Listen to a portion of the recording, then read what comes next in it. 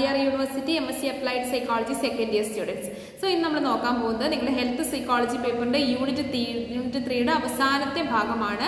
So നമ്മൾ മെയിനായിട്ട് നോക്കാൻ നോക്കിയിരുന്നത് നമ്മുടെ ഡിസീസിലും അല്ലെങ്കിൽ നമ്മുടെ ഡിസോർഡേഴ്സ് സംഭവിക്കുന്നതിൽ നമ്മുടെ ബിഹേവിയർ ഫാക്ടേഴ്സ് എങ്ങനെ ഇൻഫ്ലുവൻസ് ചെയ്യുന്നു എന്നുള്ളതാണ് നമ്മൾ ഈ ഒരു ചാപ്റ്ററിൽ നോക്കിയിട്ടുണ്ടായിരുന്നത്. സോ ഹെൽത്ത് ബിഹേവിയേഴ്സ് എന്താണെന്നും ഹെൽത്ത് ബിഹേവിയേഴ്സ് ഏതൊക്കെയാണെന്നും അതിനെ ഇൻഫ്ലുവൻസ് ചെയ്യുന്ന ഫാക്ടേഴ്സ് അതെങ്ങനെ ചേഞ്ച് ചെയ്യാം എന്നുള്ള കാര്യങ്ങളൊക്കെയാണ് നമ്മൾ ഡിസ്കസ് ചെയ്തിട്ടുണ്ടായിരുന്നത്.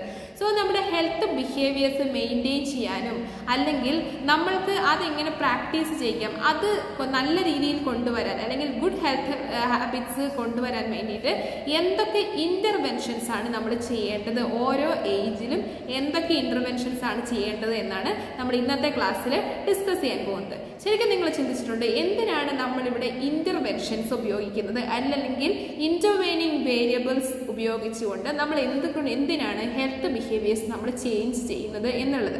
സോ നമുക്കറിയാം നമ്മുടെ തുടക്കത്തിലെ സോഷ്യലൈസേഷൻ പ്രോസസ്സ് എന്ന് പറഞ്ഞിട്ടുണ്ടെങ്കിൽ നമ്മുടെ ഫാമിലിയിൽ നിന്ന് തന്നെയാണ് അല്ലേ? നമ്മൾ എങ്ങനെ ഒരു ഗുഡ് ഹെൽത്ത് ഹാബിറ്റ് മുൻപോട്ട് കൊണ്ടുപോകണം എന്നുള്ള കാര്യത്തെപ്പറ്റി നമുക്ക് പറഞ്ഞു തന്നിട്ടുണ്ടായിരുന്നത് നമ്മുടെ ഫാമിലിയിൽ നിന്നായിരുന്നു സോ നമ്മുടെ പാരൻസിന്റെയും നമുക്കുള്ള നല്ല നല്ല കാര്യങ്ങൾ പഠിപ്പിക്കുകയും സോ അതെങ്ങനെ മുൻപോട്ട് നല്ല രീതിയിൽ കൊണ്ടുപോകണം എന്നുള്ള കാര്യങ്ങളെല്ലാം നമ്മുടെ പാരൻസാണ് നമുക്ക് പഠിപ്പിച്ചു തന്നിട്ടുണ്ടായിരുന്നത്. പിന്നീട് നമ്മളൊരു സ്കൂളിലേക്ക് പോകുമ്പോൾ നമുക്ക് സ്കൂളിലെ ടീച്ചേഴ്സും അല്ലെങ്കിൽ നമുക്ക് അവിടെയുള്ള ഹെൽത്ത് കെയർ സിസ്റ്റംസ് ഒക്കെ നമുക്ക് വേണ്ട എന്താണ് ഒപ്പീനിയൻസും മറ്റു കാര്യങ്ങളും അല്ലെങ്കിൽ നമ്മൾ എങ്ങനെ മുൻപോട്ട് കൊണ്ടുപോകണം നമ്മളെ ടീച്ച് ചെയ്യുകയും കാര്യങ്ങളൊക്കെ ചെയ്യും അല്ലേ സോ എന്ത് ചെയ്തു? ഗ്യാപ്പ് ഇവിടെ ഒരു ഗ്യാപ്പ് സംഭവിക്കുന്നത് എങ്ങനെയാണെന്ന് വെച്ചിട്ടുണ്ടെങ്കിൽ മെയിൻ ആയിട്ടും നമ്മളൊരു അഡോളസെന്റ് അല്ലെങ്കിൽ അഡൽട്ട്ഹുഡ് പീരീഡിലേക്ക് വരുമ്പോൾ നമുക്ക് ഈ പാരൻസിന്റെ ഒന്നും ആ ഒരു അഡ്വൈസും കാര്യങ്ങളും നമുക്ക് വലിയ താല്പര്യം ഉണ്ടാവില്ല. നമ്മൾ അതിൽ നിന്ന് എന്ത് ചെയ്യും? നമ്മൾ സൊസൈറ്റിയിലേക്ക് ഇറങ്ങിയിട്ട് നമ്മുടെ എൻവയോൺമെന്റൽ ഫാക്ടേഴ്സിൽ നിന്ന് നമ്മൾ ഇൻഫ്ലുവൻസ്ഡ് ആയിട്ട് പോവുകയാണ് ചെയ്യുന്നത്. സോ തുടക്കത്തിൽ നമ്മൾ മെയിന്റെയിൻ ചെയ്ത് കൊണ്ടുപോകുന്ന ഹെൽത്ത് ബിഹേവിയേഴ്സ് ഒന്നും നമുക്ക് പിന്നീട് നമുക്ക് അത് കണ്ടിന്യൂ ചെയ്ത് പോകാൻ നമുക്ക് നമ്മുടെ ഈ ഒരു അഡോളസെൻസിലോ അല്ലെങ്കിൽ അഡൽറ്റിലുള്ള പീരീഡിലുള്ള ആൾക്കാർക്കോ സാധിക്കുന്നില്ല എന്നുള്ളതാണ്. സോ അങ്ങനെയാണ് നമ്മുടെ സ്മോക്കിങ് ഡ്രിങ്കിങ് ഹാബിറ്റുകൾ ഡ്രഗ് അബ്യൂസിങ് അതുപോലെയുള്ള ബിഹേവിയേഴ്സും കാര്യങ്ങൾ അല്ലെങ്കിൽ sexual risk risk taking factors ഇതുപോലെയുള്ള കാര്യങ്ങളൊക്കെ നമ്മുടെ ലൈഫിൽ ഇൻക്ലൂഡഡ് ആവുന്നത്. സോ നമ്മൾ എന്ത് ചെയ്തു? ഇങ്ങനെയുള്ള ഒരു സമയം വന്നപ്പോഴാണ് നമ്മൾ ഇന്റർവെൻഷൻസ് കൊടുക്കാൻ വേണ്ടിയിട്ട് ആലോചിക്കുന്നത്. സോ ആദ്യം തന്നെ ഇന്റർവെൻഷൻസ് കൊടുക്കേണ്ടത് അല്ലെങ്കിൽ ഇന്റർവെൻഷൻസുമായിട്ട് ഇടപെടേണ്ടത് ആ ഒരു കാറ്റഗറി എന്ന് പറയുന്നത് ചിൽഡ്രൻ ആൻഡ് അഡോളസൻസ് ആണ്. സോ ചിൽഡ്രനിലും അഡോളസൻസിലും നോക്കുകയാണെങ്കിൽ അവർക്കൊക്കെ ഓരോ ടീച്ചബിൾ മൊമെന്റുകളുണ്ട് അതായത് ഫസ്റ്റ് ടൈം തന്നെ നമ്മുടെ പാരൻസ് ആണ്. പാരൻസ് നമുക്ക് ഹെൽത്തി ആയിട്ടുള്ള ബിഹേവിയേഴ്സും മറ്റു കാര്യങ്ങളും നമ്മളെ പ്രാക്ടീസ് ചെയ്യിപ്പിക്കും. അതായത് രണ്ട് രണ്ട് നേരം ബ്രഷ് ചെയ്യുക നമ്മുടെ പല്ല് വൃത്തിയാക്കുന്നത് മുതൽ നമ്മൾ എങ്ങനെ സൊസൈറ്റിയിൽ ഇടപെടണം എന്നുള്ള രീതി വരെ നമുക്ക് വീട്ടിൽ നിന്നാണ് പഠിപ്പിച്ചു വിടുന്നത്. സോ എന്ത് ചെയ്യുക ആ ഒരു രണ്ട് നേരം ബ്രഷ് ചെയ്യുക ഡിന്നറിന് ശേഷം പാൽ കുടിക്കുക അതോടൊപ്പം തന്നെ ഡെയിലി എക്സസൈസ് ചെയ്യുക അതോടൊപ്പം തന്നെ നമ്മൾ നഖം വെട്ടുക അതേപോലെ മുടി വൃത്തിയായി സൂക്ഷിക്കുക വൃത്തിയായി ചീകി സൂക്ഷിക്കുക ഡ്രസ്സുകൾ നല്ലപോലെ വാഷ് ചെയ്ത് ക്ലീൻ ആയിട്ട് ഇടുക അങ്ങനെയുള്ള ഡെയിലി കുളിക്കുക എന്നുള്ള കാര്യങ്ങളൊക്കെ നമുക്ക് വീട്ടിൽ നിന്ന് പഠിപ്പിച്ചു വരുന്നു. അടുത്ത നമ്മുടെ ടീച്ചബിൾ മൊമെന്റ് അല്ലെങ്കിൽ ഒരു ചിൽഡ്രന്റെ ഒരു അഡോൾസിന്റെ ടീച്ചബിൾ മൊമെന്റ് എന്ന് പറയുന്നത് സ്കൂളാണ് അല്ലേ? സ്കൂളിലെ ഹെൽത്ത് കെയർ സർവീസും ടീച്ചേഴ്സും ഒക്കെ നമ്മളെ ഡെയിലി എക്സസൈസ് ചെയ്യാനും നമുക്ക് മറ്റുള്ള സ്മോക്കിംഗ് ഡ്രഗ് അല്ലെങ്കിൽ ഈ ഒരു എന്താ ഡ്രിങ്ക്സും മറ്റു കാര്യങ്ങളും ഉപയോഗിക്കരുത് എന്നുള്ള ബോധവൽക്കരണം മറ്റും തരുന്നതൊക്കെ അവരാണ്. സോ അതിനുശേഷം നമ്മൾ ഇവരിൽ നിന്നൊക്കെ പുറത്തേക്ക് ഇറങ്ങിയിട്ട് നമ്മൾ എന്ത് ചെയ്യും? സോഷ്യൽ ഫാക്ടേഴ്സുമായിട്ട് ഇൻഫ്ലുവൻസ്ഡ് ആയിട്ട് നമ്മൾ എന്ത് ചെയ്യും? സൊസൈറ്റിയിൽ നിന്നുള്ള ബാഡ് ഹെൽത്ത് ഹാബിറ്റുകൾ നമ്മൾ ഈ ഒരു അഡോളസെൻസ് എന്ത് ചെയ്യും ഫോക്കസ് ചെയ്യും. അതുകൊണ്ട് തന്നെ ഇത് ഈ ഒരു ഹൈസ്കൂൾ ഏജ് അല്ലെങ്കിൽ ഒരു ഹയർ സെക്കൻഡറി സ്കൂൾ ഏജ് എന്ന് പറയുന്നത് ഒരു വിൻഡോ ഓഫ് വൾണറബിലിറ്റി ആയിരുന്നതായിട്ടാണ് കണക്കാക്കുന്നത്. കാരണം ഡ്രഗ് അബ്യൂസിനും സ്മോക്കിങ്ങിനും ആൽക്കഹോൾ അബ്യൂസിനും എല്ലാത്തിനുമുള്ള ഒരു വാതിലായിട്ടാണ് നമ്മൾ ഈ ഒരു ഹൈസ്കൂൾ പീരീഡ് അല്ലെങ്കിൽ ഒരു ഹയർ സെക്കൻഡറി പീരീഡ് എന്ന് പറയുന്നത്. സോ ഇതിന്റെ ഒരു ബെനിഫിറ്റോ അല്ലെങ്കിൽ ഇതുമായി സംഭവിക്കുന്ന സൈഡ് ഇഫക്റ്റുകളോ ഒന്നിനെ പറ്റിയും പ്രത്യേക ധാരണ ഇല്ലാതെ പോകുന്നത് കൊണ്ടാണ് ഇവിടെ ഇങ്ങനെയുള്ള കാര്യങ്ങളൊക്കെ വരുന്നത്. പിന്നീട് നമ്മൾ ഒരു അഡൽട്ട്ഹുഡിലേക്കൊക്കെ കടക്കുമ്പോഴാണ് നമുക്ക് ഇതിന്റെ ഒരു സൈഡ് ഇഫക്റ്റും മറ്റു കാര്യങ്ങളും മനസ്സിലാകുന്നത്.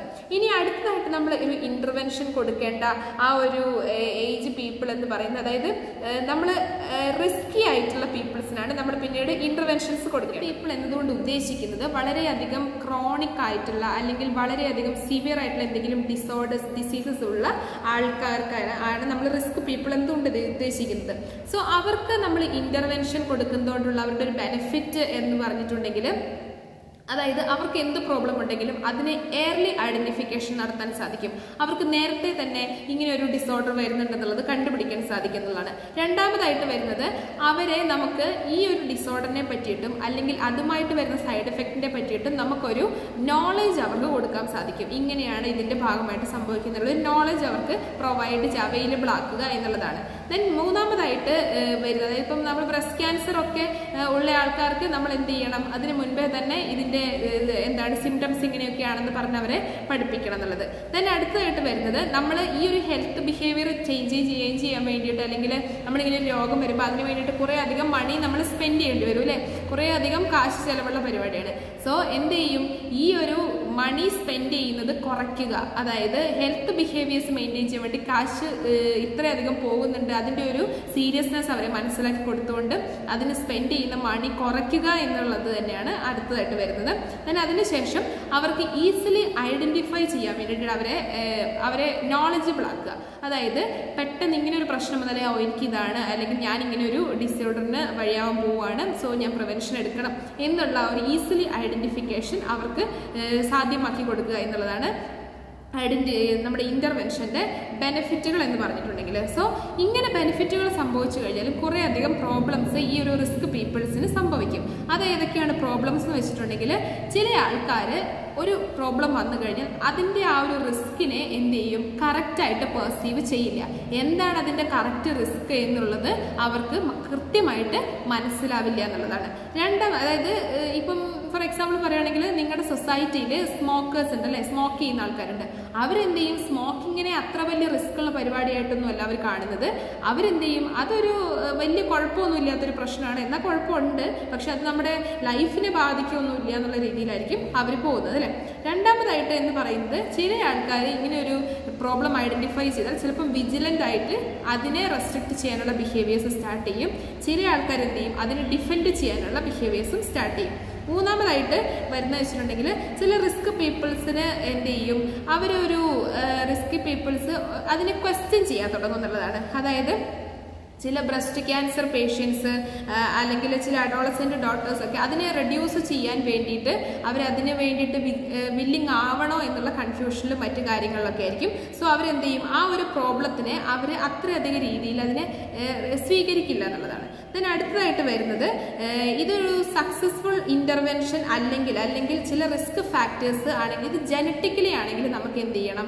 ഇത് സക്സസ്ഫുള്ളി കംപ്ലീറ്റഡ് ആവില്ല എന്നുള്ളതാണ്. അതായത് നമ്മൾ ചില ഇന്റർവെൻഷൻസ് ഉപയോഗിച്ചാൽ അത് ഒരു ഒരു കാരണവശാലും ഒരു രീതിയിലുള്ള ബെനിഫിറ്റും അവിടെ കൊടുക്കില്ല എന്നുള്ളതാണ്.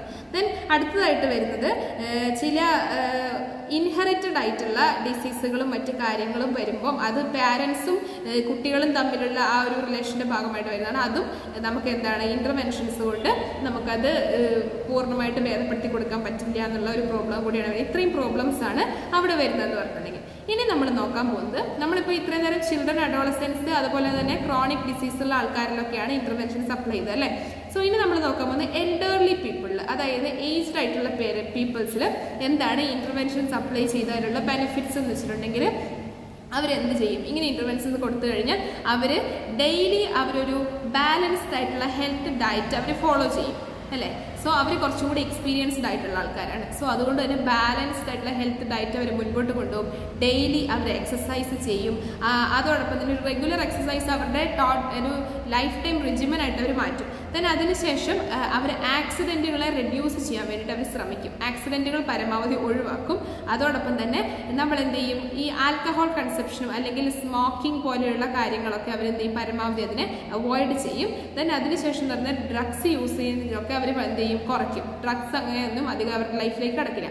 പക്ഷേ എക്സസൈസുകളും ഡെയിലി കാര്യം ചെയ്യുന്നതുകൊണ്ട് തന്നെ അവരെന്ത് ചെയ്യും ഓൾഡ് ഏജിനും അവിടെ വളരെയധികം ആക്റ്റീവായിട്ട് നമുക്ക് കാണാം ചില ആൾക്കാരിനെ സോ അവർ ഡെയിലി എക്സസൈസ് ഫോളോ ചെയ്യുന്നവരും അവരൊരു ഗുഡ് ഹെൽത്തി ബിഹേവിയർ കൊണ്ടുപോകുന്നവരുമായിരിക്കും ചില ചില റിട്ടയർമെന്റ് പീരീഡുകളിലൊക്കെ ചില ആൾക്കാർ ഡ്രിങ്കിങ് ഹാബിറ്റ് പോലെയുള്ള കാര്യങ്ങൾ തുടങ്ങുന്നതായിട്ട് കാണാം. അല്ലെങ്കിൽ സ്മോക്കിംഗ് പോലെയുള്ള കാര്യങ്ങൾ തുടങ്ങുന്നതായിട്ട് കാണാം. പക്ഷേ അതിനൊക്കെ പ്രോപ്പർ മെഡിക്കേഷൻസ് ആവശ്യമായി വന്ന് തന്നെ അവരെന്ത് ചെയ്യും? അത് മാറ്റുന്നതായിട്ടുമുള്ള ഒരു ബിഹേവിയർ ബെനിഫിറ്റ് ആണ് അവിടെ വരുന്നത്. സോ ഇവിടെയും ഇന്റർവെൻഷൻസ് അപ്ലൈ ചെയ്യാം എന്നുള്ളതാണ് പറയുന്നത്.